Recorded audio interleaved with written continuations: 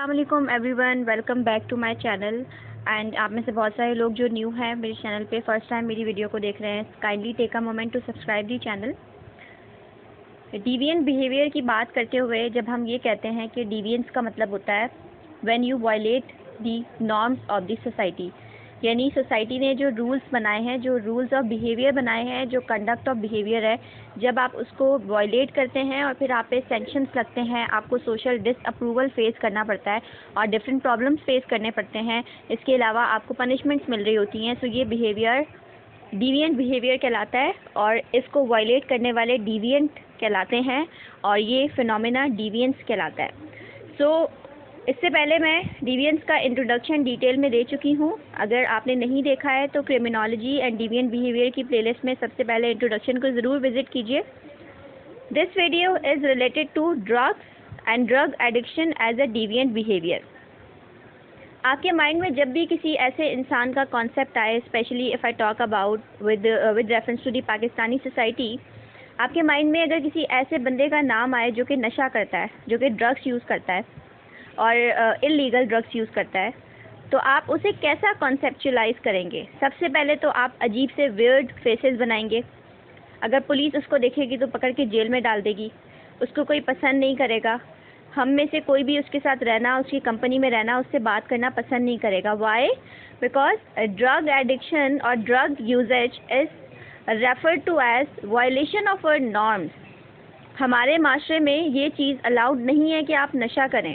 एक तो ड्रग्स वो हैं जो कि लीगल ड्रग्स होते हैं, जो कि बीमारियों के इलाज के लिए मेडिसिन वगैरह इस्तेमाल होती हैं। एक ड्रग्स वो होते हैं जो लोग हीरोइन और कोकेन और डिफरेंट ड्रग्स यूज़ कर रहे होते हैं डिफरेंट रीजंस की वजह से और एडिक्टेड हो जाते हैं। और जब ड्रग्स का इस्तेमाल करते हैं तो फिर वो अपने आसपास के इन्वायरमेंट और सराउंडिंग से अनकॉन्शियस हो जाते हैं। अनअवेयर्ड हो जाते हैं, उनको किसी चीज़ का होश नहीं रहता है, उनका नर्वस सिस्टम बिल्कुल ऑल्टर होकर काम करना स्टार्ट कर देता है। तो ज़ाहिर है कोई ऐसी चीज़ जो कि आपको होश में ना रखे आपका होश गवा दे आपको आप अनअवेयर्ड हो जाएँ और फिर नशे में जाके आप और डिफरेंट चीज़ें करें आप चोरी करें अगर आप ड्राइविंग करेंगे तो आप एक्सीडेंट्स करेंगे आप रेप की तरफ़ जाएँगे डिफरेंट चीज़ें हैं। तो इसलिए ड्रग को as a violent behaviour as a deviant behaviour consider किया जाता है। सो so, इस वीडियो में हम बात करेंगे कि ड्रग और डिवियंट बिहेवियर या डिवियंस का आपस में क्या रिलेशन है। सबसे पहले ऐसी बात नहीं है कि जो लीगल ड्रग्स होते हैं, वो उनका कोई नुकसान नहीं होता और इलीगल ड्रग्स का नुकसान होता है। मतलब एक माशरे ने, एक सोसाइटी ने अगर कुछ ड्रग्स को कहा है कि ये लीगल है और कुछ को कहा है कि इलीगल है तो जो लीगल वाले हैं, इसका मतलब उनका नुकसान नहीं है, ऐसा नहीं है। जैसे अगर आप यूएस की मिसाल लें तो वहाँ पे ज़्यादा डेथ्स जो हैं, वो लीगल ड्रग्स की वजह से होती हैं। जैसे वहाँ पे एक उनकी एक इवेंट होता है कि जब आप 21 साल के होते हैं तो फिर आप 21 आउंचेस लेते हैं ड्रग के। तो आप 21 दफ़ा अगर आप उस चीज़ को इस्तेमाल कर रहे हैं तो इसकी वजह से काफ़ी सारी एक इंसिडेंट हुआ था जिसमें एक बच्चा जो कि कॉलेज का स्टूडेंट था, उसकी डेथ हो गई थी। इसके अलावा और बहुत सारे इवेंट्स हैं जहाँ पे सडन डेथ्स हो जाती हैं। तो ऐसा नहीं है कि लीगल ड्रग्स है जिनको लोग रिक्रिएशन के लिए सेरेमनीज वगैरह में इस्तेमाल कर रहे हैं, उनका कोई नुकसान नहीं है। नुकसान उनका भी होता है। लेकिन लीगल और इलीगल ड्रग्स की डेफिनेशन फिक्स्ड नहीं है। क्यों? क्योंकि टाइम टू टाइम भी इनमें चेंजेस आते रहते हैं, जैसे एक सोसाइटी है जहाँ पे एक वक्त में अगर ओपीएम को सॉल्यूशन कह रहे हैं तो दूसरे दूसरे टाइम में कुछ रिसर्चेज आएँगी जो कि ओपीएम के ऊपर बैन लगा देंगी, जिनकी वजह से बैन हो जाएगा। एक माशरा है जहाँ पे शराब पीना हराम है तो दूसरा माशरा है वहाँ पे शराब को हलाल करार दिया गया है। लोग ड्रिंक करते हैं सेरेमनीज वगैरह में और ये फ़ैशन है। तो ये चीज़ वेरी करती है ड्रग एडिक्शन या ड्रग बिहेवियर या ड्रग्स को लेना या इलीगल और लीगल ड्रग्स वेरी करते हैं with context to the society किसी माशरे में कुछ चीज़ें लीगल होती हैं तो दूसरे में वो चीज़ें इलीगल होती हैं। इसलिए हम ये नहीं कह सकते कि लीगल और इलीगल ड्रग्स की डेफिनेशन कोई भी फिक्स्ड है। अगर क्लासिफिकेशन की बात करें तो ड्रग्स जो हैं बेसिकली तीन डिफरेंट कैटेगरीज में डिवाइड होते हैं और ये आपके सेंट्रल नर्वस सिस्टम को इन्फ्लुएंस करते हैं। फ़र्स्ट है स्टिमुलेंट्स स्टिमुलेंट्स वो ड्रग्स होते हैं जो कि आपके नर्वस सिस्टम की एक्टिविटी को इंक्रीज़ कर देते हैं और आपकी टायर्डनेस को, यानी थकान को कम कर देते हैं, जैसे कि कोकेन और कैफेन अक्सर ऐसा होता है, कुछ लोगों को ज़रा सी थकन होगी, फ़ौरन से कहते हैं, चाय ला दो कॉफ़ी ला दो। ये एक ट्रेंड बन गया कि आप ऑफ़िस से आए हैं, आप थक गए और आप कहते हैं कॉफ़ी ले आओ, चाय ले आओ। वाई बिकॉज़ इसमें जो कैफ़ीन होता है, वो आप लोगों की जो नर्वस सिस्टम की एक्टिविटी है, उसको शार्प कर देता है और आपकी थकान को कम कर देता है तो आप उसे यूज़ कर रहे होते हैं। सेकेंड टाइप के ड्रग्स हैं डिप्रेसेंट्स ये वो ड्रग्स होते हैं जो कि आपके नर्वस सिस्टम की एक्टिविटी को रिड्यूस कर देते हैं। ये अपोजिट हैं स्टिमुलेंट्स के। स्टिमुलेंट्स जो हैं कि स्टिमुलेट कर रहे हैं, तेज़ी से बढ़ा रहे हैं एक्टिविटी को, जबकि डिप्रेसेंट्स डिप्रेस कर रहे हैं, यानी कि नर्वस सिस्टम की एक्टिविटी को कम कर देते हैं। और इसकी वजह से आपको आराम मिलता है किसी टेंशन से या पेन वगैरह से, जैसे कि हीरोइन और मॉर्फिन वगैरह। अक्सर लोग कोई सदमा मिल गया कोई दुख मिल गया और उस दुख को भुलाने के लिए नशा स्टार्ट कर देते हैं। तो वो नशा बेसिकली आपके पेन को रिलीफ दे रहा होता है। होता क्या है कि आपका नर्वस सिस्टम जिस जिस भी टेंशन के बारे में सोच रहा है जिस भी पर, जो भी परेशानी है जब आप वो नशा करते हैं तो वो परेशानी आपकी कम नहीं होती है बेसिकली बेसिकली आपकी नर्वस सिस्टम की जो एक्टिविटी है उसको वो रिड्यूस कर देता है तो आपको रिलीफ फील होता है। थर्ड टाइप के जो ड्रग्स हैं वो हैं hallucinogens and they disturb the function of the nervous system example L ये आपके नर्वस सिस्टम के फ़ंक्शन को ही डिस्टर्ब कर देते हैं। तो फिर आप सोचें, जब आपका फ़ंक्शन डिस्टर्ब हो जाएगा, जब आपका दिमाग काम नहीं कर रहा होगा तो फिर आप वायलेंट बिहेवियर में भी इन्वॉल्व होंगे, फिर आप ड्राइविंग करते हुए एक्सीडेंट्स भी करेंगे, फिर आप रेप्स भी करेंगे, फिर आप डिफरेंट किस्म के और जुर्म करेंगे। और ये जो जुर्म होते हैं, ये जो वायलेंट बिहेवियर है या क्रिमिनल बिहेवियर है, ये बेसिकली ड्रग एडिक्शन की वजह से हो रहा है या ड्रग लेने की वजह से हो रहा है, और ये डिवियंट बिहेवियर है। So in that way you can relate drug and deviance अब बात करेंगे कि ड्रग्स किस तरह से इंडिविजुअल्स को इन्फ्लुएंस करते हैं तो ड्रग्स की इन्फ्लुएंस में डिफरेंट फैक्टर्स इन्वॉल्व हैं। जैसे आप कितना डोजेज ले रहे हैं, वो कितना प्योर है मिक्सिंग ऑफ़ ड्रग्स उनका method of administration and strength of habit आप कितने हैबिचुअल हैं। तो ये तमाम चीज़ें ये तमाम फैक्टर्स इन्वॉल्व होते हैं कि ये तम, जो ड्रग्स हैं वो इंडिविजुअल्स को कितना इन्फ्लुएंस करेंगे। अब कुछ ड्रग्स की बात कर लेते हैं जैसे मैरुआना की अगर बात करें तो पहले के ज़माने में मैरुआना यूज़ जो था वो considered it was considered as होले। एंड मोर रिसेंटली यूएस के अंदर पॉजिटिव और नेगेटिव मैरुआना के बारे में बात की जा रही होती है।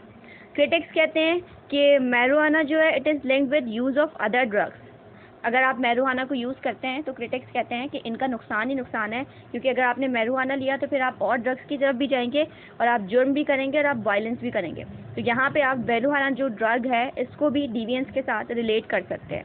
दूसरे पॉइंट्स ये कहते हैं कि मैरूहाना के मेडिकल बेनिफिट्स भी हैं। तो मैरूहाना के दो साइडेड बातें हो रही होती हैं कि इसका नुकसान भी है, यानी it it basically leads to deviant behaviour और इसके मेडिकल फ़ायदे भी हैं।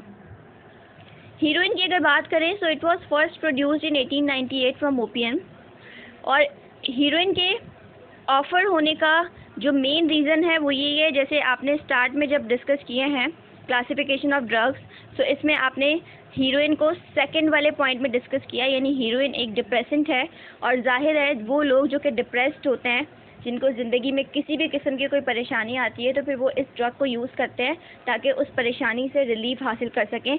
बेशक वक्ती तौर पे ही कर सकें। मीन्स अब डिसकम्फर्ट का जो रिस्क है या फिर सिकनेस वगैरह या फिर कोई टेंशन है सो आप उसको दूर कर सकें। कोकेन की अगर बात करें सो फर्दर डिटेल्स इसमें दी हुई हैं और ट्वेंटी सेंचुरी से पहले कोकेन बहुत पॉपुलर था और सोशली एक्सेप्टेबल था। अब जैसे स्टार्ट में बात की थी कि इन ड्रग्स का लीगल और इलीगल ड्रग्स की डेफिनेशन क्लियर नहीं है। उसके पीछे रीज़न यही था कि देखें कोकेन की आप एग्जांपल ले लें बीसवीं सदी से पहले ये एक्सेप्टेबल थी और आज ये एक्सेप्टेबल नहीं है। क्यों? क्योंकि जब रिसर्च होती है तो पता चलता है कि भाई इनके नुकसान हैं। सो so, ये डिफरेंट सारे ड्रग्स हैं इनको देख लीजिएगा। अगर ड्रग्स और एचआईवी की बात करें एचआईवी एड्स आपको पता है एक बीमारी है। एड्स ड्रग एडिक्ट्स के अंदर बहुत कॉमन होती है। जो लोग नशा करते हैं उनमें एड्स होने के ख़तरे ज़्यादा होते हैं, उनमें कॉमन होता है और उसकी वजह ये होती है कि जो नशा कर रहे होते हैं स्ट्रिंज के थ्रू यानी इंजेक्शन लगा के जो नशा कर रहे होते हैं, वो एक दूसरे का जूठा स्ट्रिंज इस्तेमाल करते हैं यूज़ स्ट्रिंज इस्तेमाल करते हैं। तो ज़ाहिर है एड्स कैसे होता है? ब्लड ट्रांसमिशन के थ्रू होता है। इस तरह के यूज़ स्ट्रेंज इस्तेमाल करने से होता है। तो जब आप स्ट्रेंजेस वगैरह यूज़ करेंगे तो ऑब्वियसली आप में एड्स के स्प्रेड होने का ख़तरा ज़्यादा हो जाएगा और बाकी इसमें मज़ीद डिटेल्स भी हैं, इसको आप देख सकते हैं। ड्रग और क्राइम, अब ये है मेन पॉइंट यानी कि drugs and deviance people can not control their addiction and to be able to buy drugs they commit different types of crimes ये बहुत इंपॉर्टेंट पॉइंट है। किसी भी चीज़ की नीड अगर आपकी बॉडी को महसूस होती है तो आप उस नीड को पूरा करने की हर तरह से कोशिश करते हैं। और उस नीड में से एक नीड ड्रग की होती है, जो कि ड्रग एडिक्ट्स को होती है। यानी एक इंसान है जो कि ड्रग एडिक्ट है, नशे का आदि है और उसको नशा नहीं मिल रहा है तो वो उस नशे को हासिल करने के लिए उसको पैसा चाहिए। और वो पैसा कमाने के लिए जब उसके पास सही ज़राए नहीं होते तो फिर वो गलत ज़राए इस्तेमाल करेगा। फिर वो चोरियाँ करेगा, डाके डालेगा और डिफरेंट किस्म के क्राइम्स करेगा, किसी का मोबाइल स्नैच कर लेगा। क्योंकि जो ड्रग एडिक्ट हो चुके होते हैं, उनकी बॉडी में से जब उनको ड्रग नहीं मिलता तो दे फील लाइक उनकी बॉडी से उनकी रूह निकल रही है, उनकी सोल निकल रही है। उनको ड्रग चाहिए होता है और वही उनको रिलीफ देता है। सो so, इस नीड को पूरा करने के लिए फिर वो हर हद तक जाते हैं ताकि उनके हाथ में किसी तरह पैसा आ जाए क्योंकि उनको फिर सही गलत नज़र नहीं आ रहा होता। उनको सिर्फ़ अपनी नीड नज़र आ रही होती है द नीड ऑफ़ ड्रग तो वो ड्रग एब्यूज़ की तरफ़ जाने के लिए मज़ीद ड्रग को यूज़ करने के लिए क्राइम्स को कमिट करते हैं। Criminals and drug users share one common thing that thing being a tendency to commit deviance general deviance syndrome ये जो क्रिमिनल्स और ड्रग यूज़र्स हैं, इनमें एक चीज़ कॉमन होती है कि ये दोनों ही गलत रास्ते की तरफ़ जाते हैं। दोनों ही कमिट करते हैं डिवियंस को। क्रिमिनल भी क्या करता है? जुर्म करता है डिवियंस करता है। और ड्रग यूज़र भी क्या करता है? जब उसकी बेसिकली उसकी नीड पूरी नहीं हो रही तो ऑब्वियसली उसको पूरा करने के लिए वो क्राइम करता है। इसके अलावा नशे में आकर बहुत सारे रेपिस्ट पकड़े जाते हैं और पता चलता है कि जी नशे में थे, नशे में कर दिया। तो आपने किसी की लाइफ स्पॉइल कर दी। आपने डिवियंस की तरफ़ तो आप चले गए ना, बेशक आप नशे में थे। So drug addiction leads to deviance so ये हमारा मेन फोकस था मेन पॉइंट था। अब थ्योरी की बात कर लेते हैं।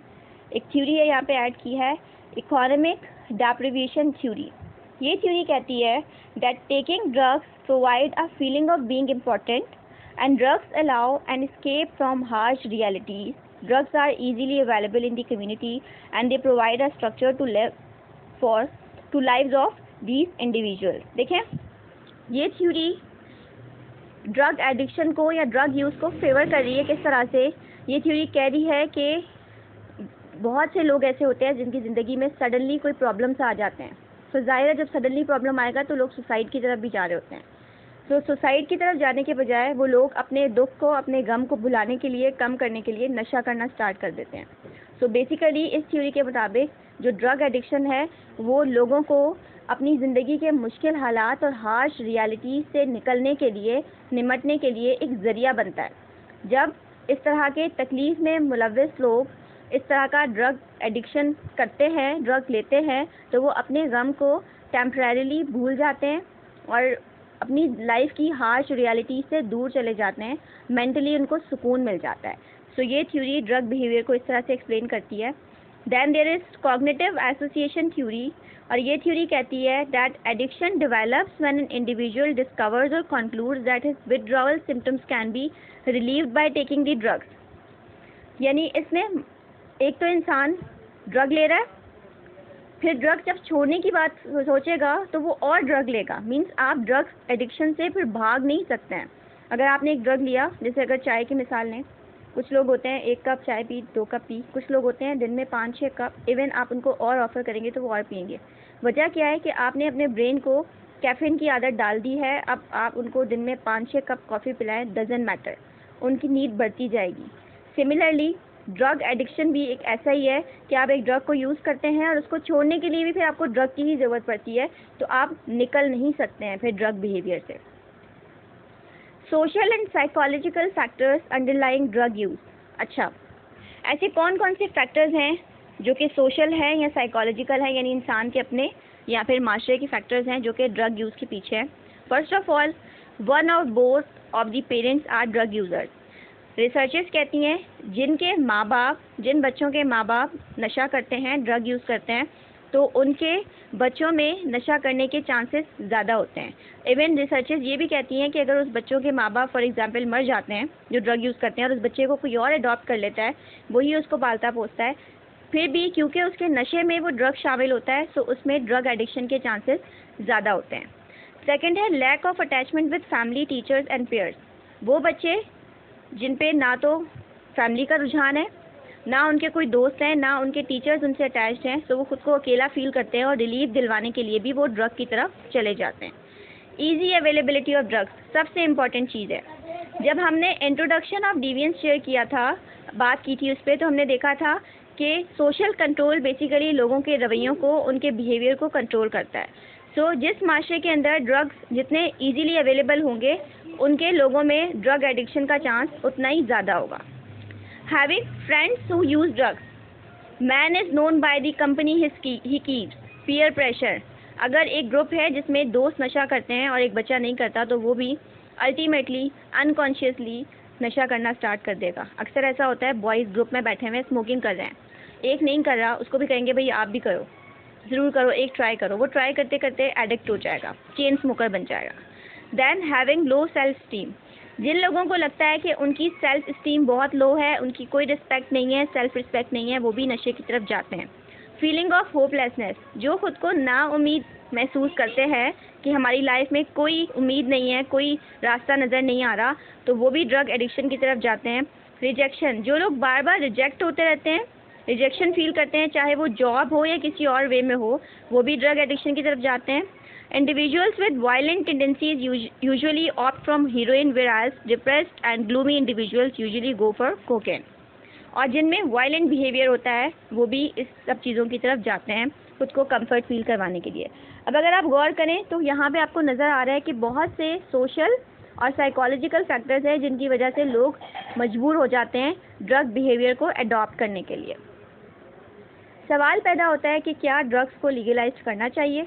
क्योंकि बहुत सारी सोसाइटीज़ हैं जहाँ पे ड्रग्स लीगल हैं but they are still harmful लेकिन दे आर लीगल सो क्या ड्रग्स को लीगलाइज होना चाहिए? The first point here is legalize drugs and then use the drug money for fighting drug addiction legalization of drugs will significantly increase the number of drug users in society and reduce और solve problem that are causing drug addiction and legalize small number of drugs and allow people over eighteen to buy जो, यहाँ पे solutions बताए गए हैं। आप अपने solutions को ज़रूर मुझसे फीडबैक शेयर कीजिएगा कमेंट सेक्शन में। दीज पॉइंट से डैट ड्रग्स को लीगलाइज नहीं होना चाहिए, क्योंकि लोग पहले तो फिर लीगलाइज ड्रग्स को ख़रीदते हैं। एडिक्शन हो जाती है तो फिर उस एडिक्शन से निकलने के लिए पैसा खर्च करते हैं। तो यही पैसा आप हेल्थ केयर सिस्टम पे या किसी अच्छी जगह पे भी इस्तेमाल कर सकते हैं। और ड्रग्स लीगलाइज हैं भी तो फिर उन लोगों के लिए होने चाहिए जो कि 18 से अबव हैं अकॉर्डिंग टू दीज पॉइंट्स अब बात करेंगे एडिक्शन टू लीगल ड्रग्स जो लीगल ड्रग्स हैं, उनकी एडिक्शन किस तरह से होती है? पहली चीज़ लीगल ड्रग्स आसानी से अवेलेबल होते हैं। ज़ाहिर है वो लीगल हैं तो लोग आराम से उनको अवेल कर लेते हैं। लोग ये भी समझते हैं कि ये सेफ़ हैं, क्योंकि लोगों का एक माइंड सेट है कि एक चीज़ जिस पर पाबंदी नहीं लगाई गई, इसका मतलब वो सेफ़ है। Pharmaceuticals have influence doctors to prescribe and individuals to buy their products pharmaceuticals doctors इन सब जो हाई पावर्ड लोग हैं ना, यहाँ पे आप कॉन्फ्लिक्ट को ऐड कर सकते हैं। कि जो लोग पावर में हैं, वो इस बिहेवियर को खुद ही प्रमोट करते हैं। क्योंकि पता है फार्मास्यूटिकल्स को भी पैसा मिलेगा जब दवाइयाँ बिकेंगी। डॉक्टर्स को इस तरह पैसा मिलेगा कि जब एडिक्शन हो जाएगी एक दवाई की तो मरीज़ बार बार आएगा। तो उसके पास भी पैसा आता रहेगा। तो इस तरह से लीगल ड्रग्स की लोगों को एडिक्शन हो जाती है। इस वीडियो में हमने डिस्कस किया कि ड्रग्स क्या होते हैं कौन कौन से होते हैं। और उनका किस तरह से ओरिजिन हुआ, किस तरह से इस्तेमाल हुआ और साथ ही साथ ड्रग एडिक्शन का और डिवियंस का आपस में क्या ताल्लुक है, मुझे उम्मीद है कि आपको ये वीडियो समझ आई होगी। काइंडली स्टे कनेक्टेड एंड मुझे दुआ में याद रखिएगा और मज़ीद वीडियोज़ के लिए मेरे साथ कनेक्टेड रहिए सपोर्ट कीजिए। Thank you so much take care have a